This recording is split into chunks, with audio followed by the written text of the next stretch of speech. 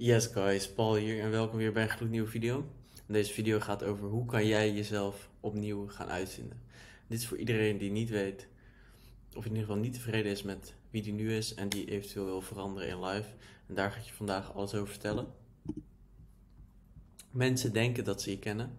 En heb je ooit wel eens verteld aan mensen dat je jezelf wilt veranderen. En dat andere mensen eigenlijk daarin nooit veranderen. Stop je eigenlijk in een hokje als je dit soort dingen zegt je kan bepaalde dingen niet. Dat is onmogelijk. Dat is niet wat je doet. En jij wel. Dus ehm, ja, dat is echt een beperkende mindset in de omgeving waarin je dus misschien nu al bevindt. En dat is ook precies de omgeving waar ik mijzelf in bevind in Nederland. En waarom ik de stap maak om zo min mogelijk te zijn in deze omgeving. En mm, in omgeving van deze type mensen die niet snappen wat jij wilt gaan doen in het leven. Oké, weggaan. Soms is alles wat er voor nodig is een andere omgeving. Dat is precies wat ik ook nu heb gedaan sinds ik nu twee maanden in Bali zit. is precies een andere omgeving met andere e-com ondernemers.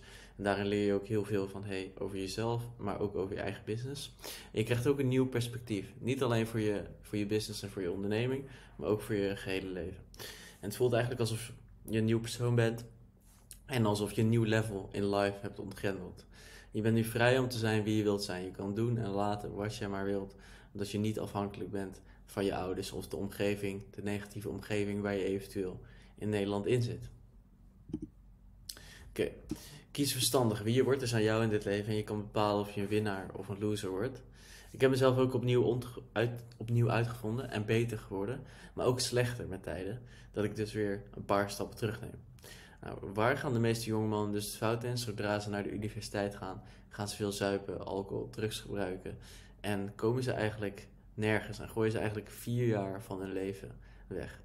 Dus ik zou zeggen, als je niet weet wat je wil gaan doen in het leven, raad ik je ten eerste af om niet naar de universiteit te gaan, tenzij je arts of dokter wilt worden, et cetera.